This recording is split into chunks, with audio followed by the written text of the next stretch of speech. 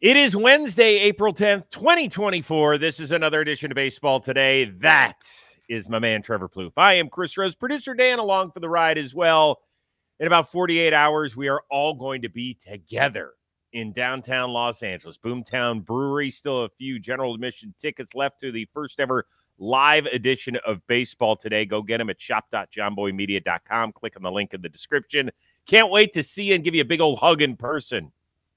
I'm still flabbergasted that we live so close to each other, but the only time I ever see you is on the computer screen. So yes, I do want to give your big old body a hug, a big bear hug for you, C Rose. Well, I'll be handing out a few of those to some of the, you know, the people that show up as well. Just a few bear hugs to go around. That's all. uh, yeah, I hear. It. By the way, hopefully there's less body for you to hug. It's been getting down, trying to trim down a little bit. So you get look there. great, C Rose. I'm gonna, I'm gonna instill you with confidence before you head out to the Yeah. desert. That's the yeah. I need it. I need a little bit. Uh, you know, he's got plenty of confidence. Shea Langeliers, good for him, providing us. That's why he's our tip of the cap today.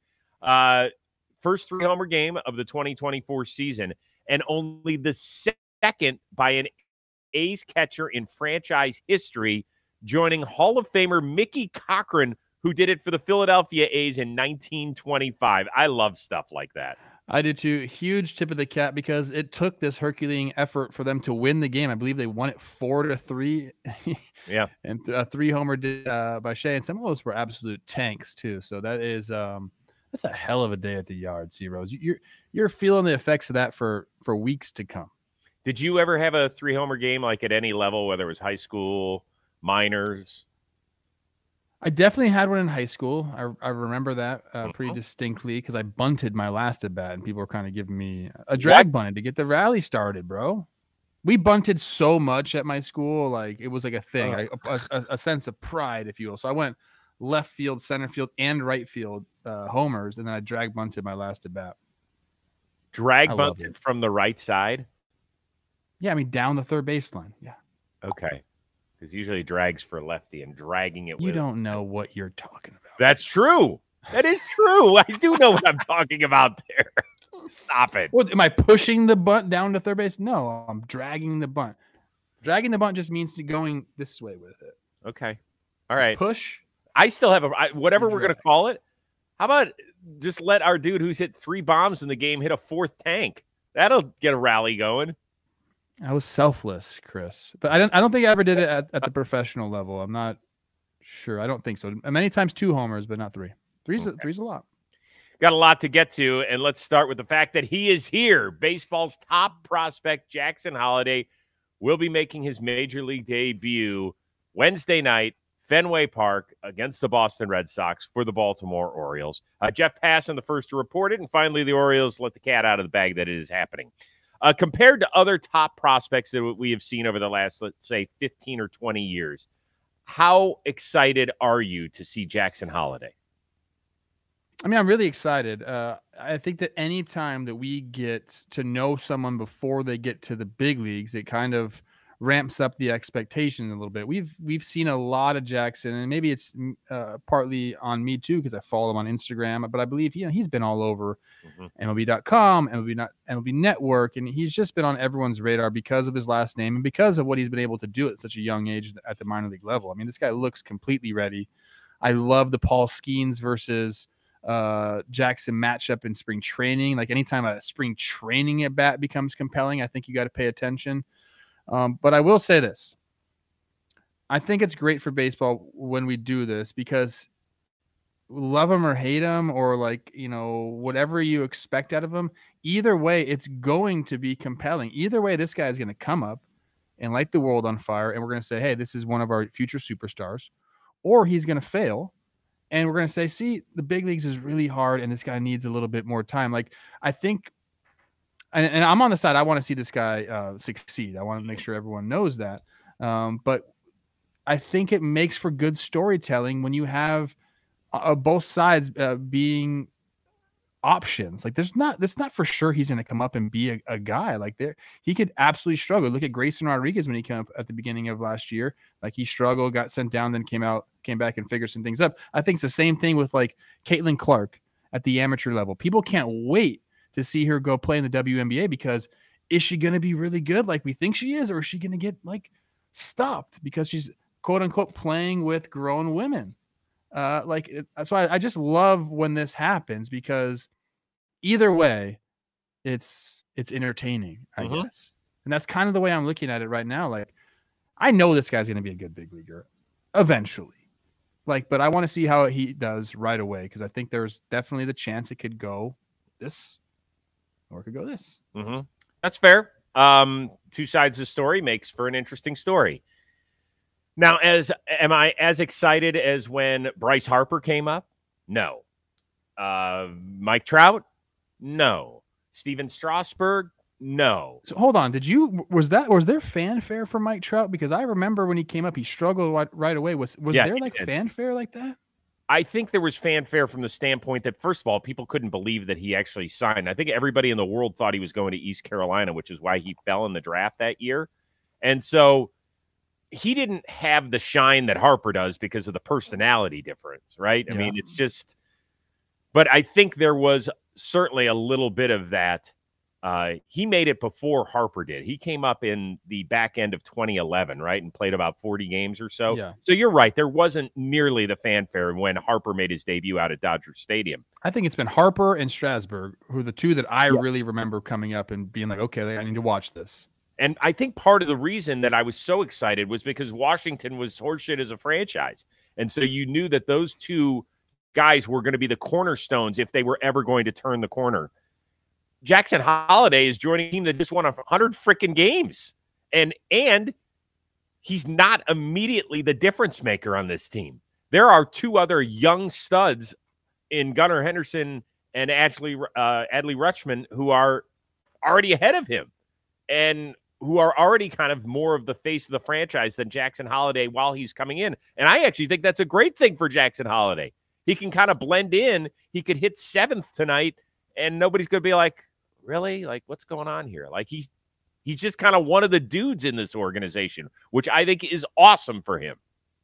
Yeah, I think that that definitely helps out, alleviate some of the pressure. Uh, but it, it's there's still going to be all eyes on him tonight. No offense to Gunnar or Adley, like it's going to be all eyes on Jackson Holliday. So Yeah. that's a lot of pressure to put on put on a young kid. But you know, you you just kind of like get the vibe off of guys. Uh, he seems like he's able to handle the pressure well, and you know, obviously that that has a lot to do with his dad bringing him around the game. He's familiar with he's familiar with this stuff, and that you can't say that. I mean, very few people, you know, get to have the experiences that that he did, and then make it to the big leagues. But don't you agree that the success or failure of the Baltimore Orioles getting to the next level is not solely on the shoulders of Jackson Yeah. Holliday, whereas it has been with Harper in Washington, Strasburg in Washington, Trout in Anaheim, to some degree, Kris Bryant, although he also had young help on the north side of Chicago. I think that all those guys are in different situations than Jackson Holliday is. He's coming into a much better situation. Yes. Yeah.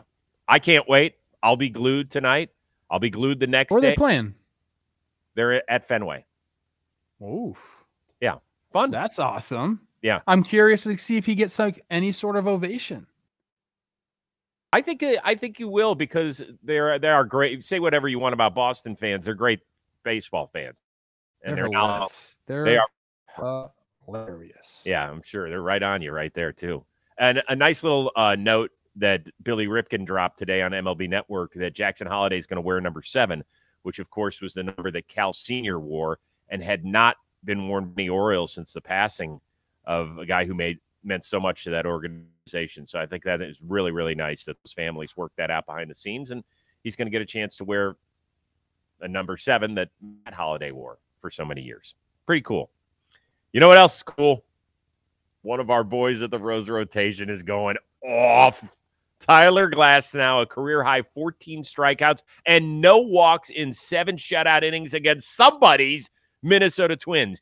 He became the first player since they started tracking pitches in the late 80s to have at least 14 strikeouts with fewer than 90 pitches thrown.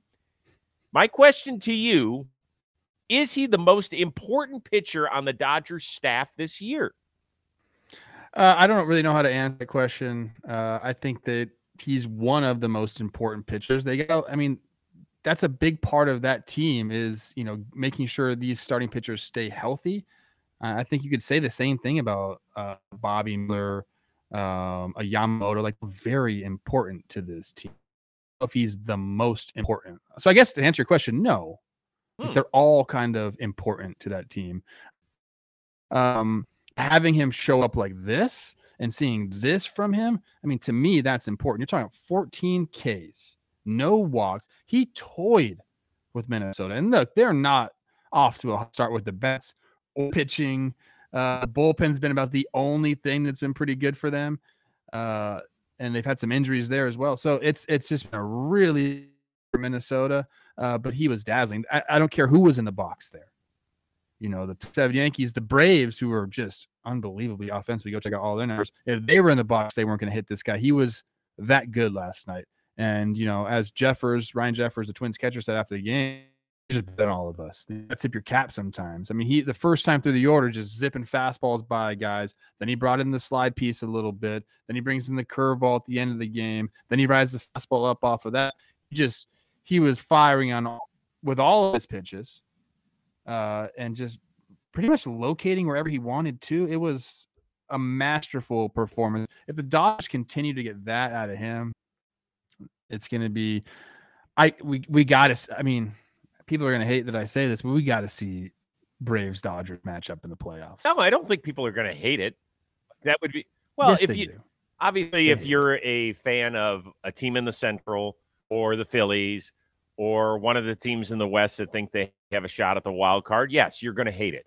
If you're just a baseball fan who loves watching the best compete, then yes, that would be a great NLCS. We have seen it a few times before. I think we would love to see it again. Let me answer this question. The answer is yes. He is the most important okay. for a few reasons.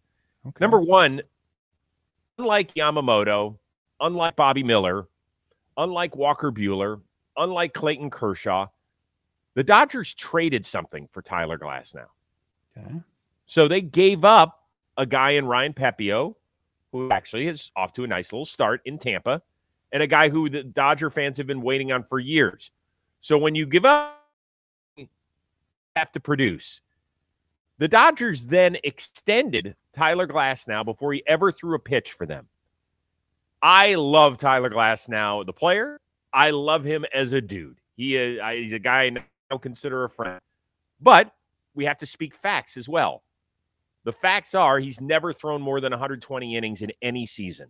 And so it is important that he does that, that he gives them some innings when their their rotation isn't totally stacked yet. And there are some question marks. This is the time where he has to grow up and be exactly who we think he can be. And I have no questions that he will. But that's what makes him the most important. I love it. Can I ask you a question real quick? Sure. Okay. Uh, the Braves uh, are leading the world in OPS as a team, 880, which is ridiculous. Dodgers second, 811. You've seen the Dodgers offense, what they've been able to do. The Braves are 70 OP points ahead of them. Name the third team. The third team in OPS this year. Mm-hmm. Uh, five guesses and you're not going to get it. Really? God, that's so good. You're going to give me five guesses and I'm not going to get it. How about no. the uh, Kansas City Royals? No. Uh, the uh, uh, not the Seattle Mariners. Oh, they've been uh, atrocious. Uh, the San Diego Padres. No. The Chicago Cubs. Fourth. Okay. The um, uh, the Tampa Bay Rays. No. And the um, uh, the Washington Nationals the Milwaukee Brewers. Oh, the Brew Crew. Crew. That away, Brew Crew. 807 OPS. Good for them, man. They've, uh, you know what? We haven't talked about them. I think we're probably going to talk about them. Certainly, if they win on Wednesday, we'll get to them on Thursday's show, but we'll see. We'll see. All right, nice stuff there. Uh, we got much more show coming your way, including a few really interesting comments. One from Trevor Story, Rowdy Tellez. But first, word from our friends at DraftKings. Yes, the show's brought to you by DraftKings Sportsbook. And guess what? It's officially time for fans to head to the ballpark and root for the home team as the baseball season gets underway. You got to get in on this action early in the season. Uh, DraftKings Sportsbook right now is offering all new customers who bet $5. You'll get $150 in bonus bets instantly. Just bet five bucks on any wager that's baseball related. Uh, use the promo code baseball today and you'll get that $150 in bonus bets put right into your account. It's very easy. I think it's a good deal. So go check it out. Download the DraftKings Sportsbook app now. New customers, like I said, if you use the promo code baseball today, you five dollars on any wager, and you get $150 in bonus bets instantly. That's promo code baseball today, only at the DraftKings Sportsbook. The crown is yours. And uh, while I was away, I want to thank Matthew Steen, who pointed out in the chat, I made a mistake. Bryce Harper had the first three hour game of the year. Shea Langeliers mm. had the hmm. first one in the American League. So thank you, Matthew. Gotcha. Thank you for keeping us on our toes. That is my fault. My fault. Error rose if you're scoring at home, which unfortunately I think I lead the league in errors. So I got to work on. I got to get out there with Ron Washington. I think, I think I've done that too. yeah, I've got to work on my early uh, early fielding, something like that. Uh, unfortunately, dude, at some point I just gonna start announcing when guys are healthy around Major Baseball. I think that list might be shorter than guys are injured because every day Fromberg went on the injured list. Same with Josiah Gray. He's got an arm issue. Arm issue for Nick Pivetta, who's off to an amazing start in Boston. And then to his teammate, Trevor Story. We saw him make five on their West Coast swing and injuring his for the year. Tough go for him. Listen to this. You know, missing last season, you you feel that you know you you miss your teammates, you miss playing the game. Um,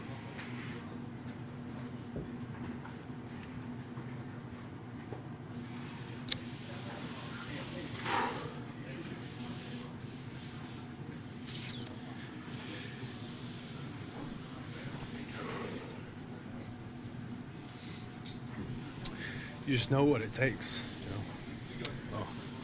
But I'll be all right. For those of you joining us audio only, that was 12 seconds of silence. Basically, Trevor Story was trying to compose himself, but having a real difficult time.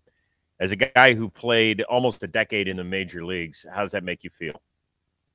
It's that's a tough watch, man. Uh, Trevor is 31 years old, so he's been playing baseball consecutively for 27 years now. It's it's as much of a part of you as anything else is.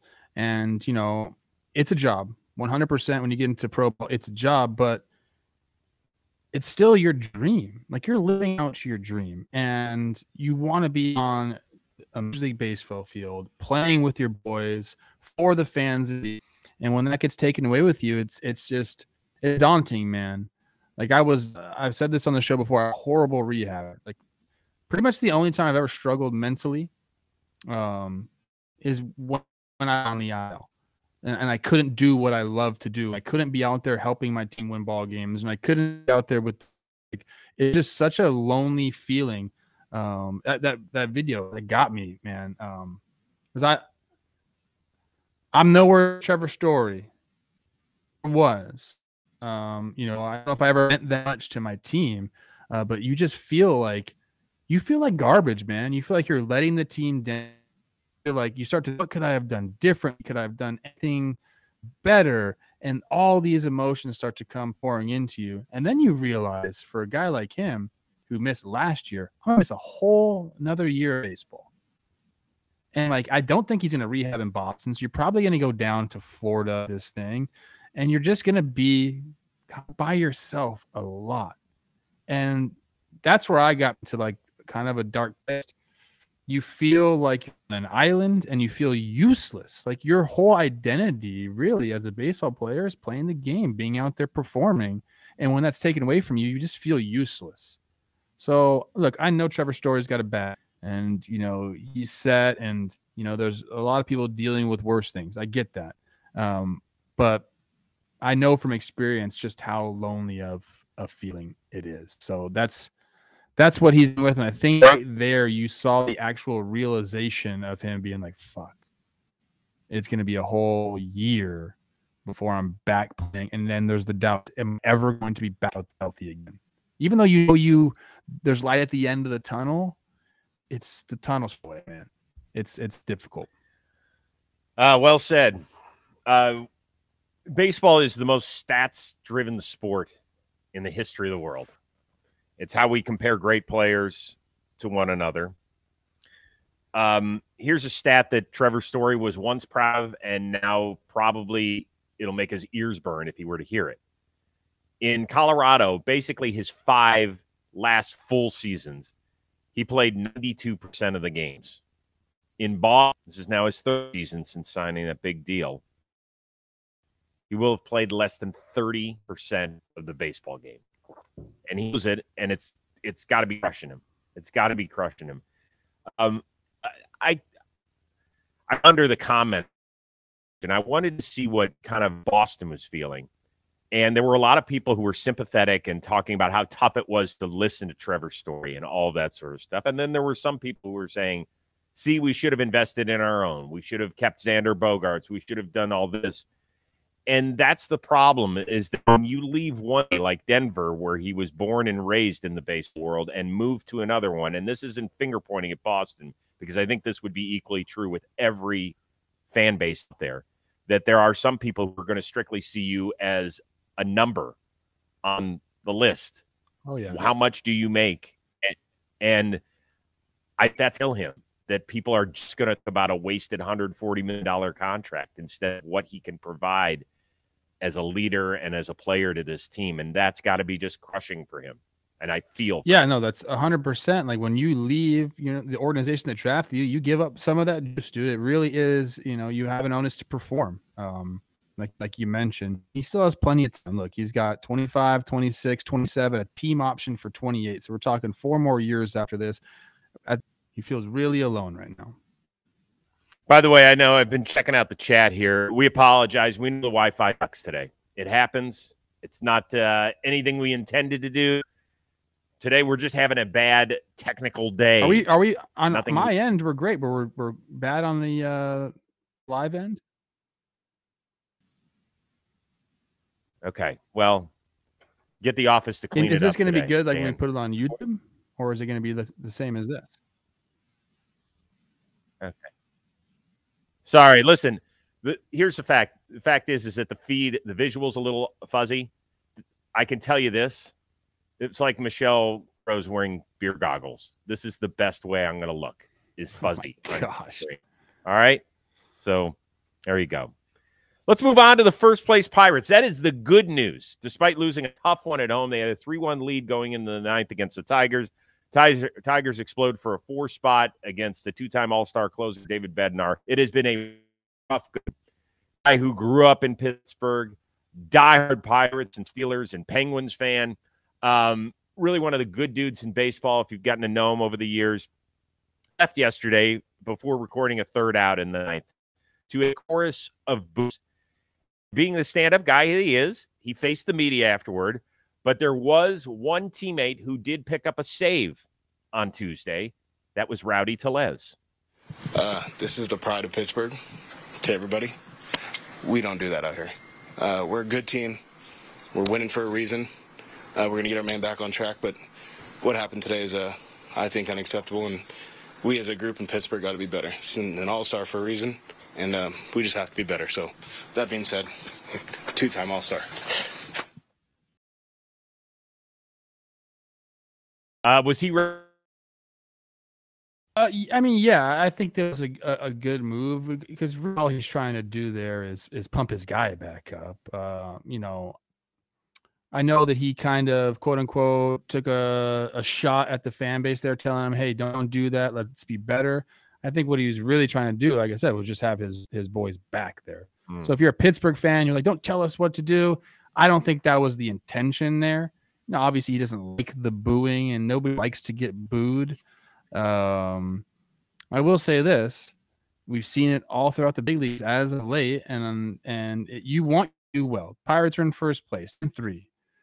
Uh, one way to get your team to do well, team, that confidence level when you go up there and you hear a roar from the crowd, man, that feels really good. And you feel good, you're going to play good. When you get booed by the crowd, uh, just for performance stuff, that really hurts. Now, you you boo for mental errors or you want to boo for not hustling. I'm in on that. Sometimes you need to be called out on stuff like that. But a guy like Bednar who does have a track record, scuffling, uh, you know, at the beginning of the season, I don't, I don't want to tell you what to do with your hard-earned money because you paid to go, so you can kind of, to a certain extent, do what you want. Uh, I would say you're better off cheering a guy in a situation like that because I know if you paid money to go to the game, you're a fan of the team and you want them to win. And I think one to get more performance out of the players is to is to cheer them on, especially when they're going through a low. Yeah, I the story before that John Salley and I used to have this disagreement on Best Damn 20 years ago. He's like, when we suck, like when we're trying but we stink, that's when we need fans the most. Yes. And I understood his point. Um, now this was not a, off for David Bednar. He, it's it's been a go for him. He has blown three of four yeah. save opportunities. Last year, he blew three save opportunities in 42 chances the entire year. The season before that, only four. As, even when this franchise has been struggling. Now, he's a big boy and he understands the role, understands the job that he uh, is usually see this out of Bednar. He's been better than that. At the same time, I'm okay with boo. I now personally would I have booed? No, I agree. I agree that the only times I would ever boo a guy is if I thought the effort was lacking or there's something lackadaisical. You just mentioned that, not because of performance. Like, would I be happy about it? No. Would I MF somebody if I'm watching the game on TV in front of my kid? Yeah, I do that time. Like, not happy about it. I, I'm a fan. I don't begrudge the fans for doing it. It's just not my style. I actually think that the fans were okay to do it. I think Rowdy Tellez was a great teammate to do what he did. And I think David Bednar is going to stand there and be better for it when he comes back and hopefully is 100% healthy, if that's the, the problem here. I didn't have a problem with any yeah. of it. Really? I mean, like I said, like if you really want the best from your team, like cheering a guy on when he's struggling, you know, moves mountains to a guy. All right. Royals, they've won five straight after Salvador Perez with a walk-off in extra innings. Again, Casey's now seven and four. Cleveland leads the Central. Detroit and Kansas City right there. The team that it all, Minnesota Twins, good, good, talented team, just struggling first two weeks of the year. How many legitimately vie for the crown? I think in this division, I think early on, what we're seeing, I think there are four teams that could potentially win this division. I'm going to keep my Twins in there for now. I know they look they look really bad, Chris. Not even it was runners in scoring position. Their hitting has just not showed up. The pitching, the starting pitching has been really bad, but I do believe long to be okay. Um, the Royals have throwing the crap out of the ball. The Tigers have been kind of an all around good team, and the Guardians somehow continue to win, uh, even though they're getting bad news on their ace. Um, you know, they don't even have their other guy that could potentially be an ace yet. Like somehow they just continue to win uh, baseball games, and they're actually they're kind of banging the ball around a little bit for a Guardians level, right? Yes, they are. Mm-hmm. Fair. So yeah, I mean, I, I think we can. I think we're seeing from early on legitimately four teams could be in this race. And I think that's good for baseball. And, you know, when we came into this year, we said, okay, it's going to be the Twins, the Tigers are the dark horse, and the Guardians are always there. The Royals are like, hey, what about us? And they and they actually went and had a really off season. If you remember, they made a bunch of moves uh, this off season to shore up the pitch staff, and that's that's uh, been a huge part of what they've been doing. Right now, they are third in all of baseball in innings. Like that's that's a stat that I like, Chris. Yeah. You know, if you're if you're pitching that many innings, that's been that means you're doing well. So um I'll answer the question and say four. I really believe that now. Yeah, I think it could be the National League Central. Um Singer and Lugo, both an ERA under one. Wacha and Ragans under two six five, and Marsh is just over three. Compare that to last year in Kansas City. They had eight play, seven starts. Only one had an ERA under four two only one guy, and that was Ragans, who came over in that midseason trade. Three guys who had the most starts on that team were Greinke, Singer, and Lyles. None had an ERA under five. That was disastrous for that team. We know that they have got a star in the making in Bobby Witt Jr. They've got some other nice young players. MJ Uh, has been nasty. Yep, yep. Vinny at some point is going to get get swinging it. So yeah, I th- I think that all four of those teams, the White Sox will see it down the road, but the other four will make it in, and then people bitch and moan saying that there would be another team from the East or West that should make the playoffs and not a team from the Central, but that's for another time. Last thing, real quickly, Tyler O'Neill with yet another home run in the Red Sox home opener. He does his thing. He blasts it over the monster, and then it ends up smashing somebody's windshield. If that was your ride, do you try to get something out of it from the Sox? Obviously, uh, yeah, I want something. Unless you have uh, Safelite. What's that jingle? Safelite repair, Safelite replace. Oh. Then you don't Oh. have to worry about it. Just call them up, and they'll replace your windshield for free. I would. You know what I would do? Like you know how um, who was it? Was Elly De La Cruz hit a foul ball off Hunter Greene, and they they took the window out and they signed it. Yes, That would be cool. be great. Like that's a cool piece of art to have in your house. Take the whole windshield out, have Tyler O'Neill sign it. Like how unique is that to have? That's what I Yes. would. I would do that, and then I would also um, take my shirt off next to him and do the power flex as Yep. well, just to see how I would compare next to him, because I really wouldn't get a chance to do it anytime. It wouldn't be great for you, Chris. Have you seen the guy? He makes Chris. Wyatt Lang forearms look like little baby biceps. You know, um, don't don't underestimate this body. Do not do that. Oh, I see you. I see you with your ham hocks. That away. Still got it. Still putting the hand in the in the bucket of rice. We're That little mouse. Yeah, yeah. Okay. We will get things fixed for tomorrow. Here's the deal. We are not on live Thursday morning because we got people traveling to get out here for the live edition of um, Baseball Today on Friday. We're actually taping it tonight, and Jolly will be sitting in for Plouffe. He's got a scheduling issue, but we're all going to be together either one or two shows on Friday. We're still working that out, so we might have a more, we might have like a day night double header. That could be interesting. Yep. Don't forget to go get your tickets. Get your tickets. Shop.jomboymedia.com. Still general admission seats out there. We want it Friday. We want to have a great. For one of a kind producer Dan Rourke and the uber talented Trevor Plouffe, I am Chris Rose. We will see you Thursday on Baseball Today.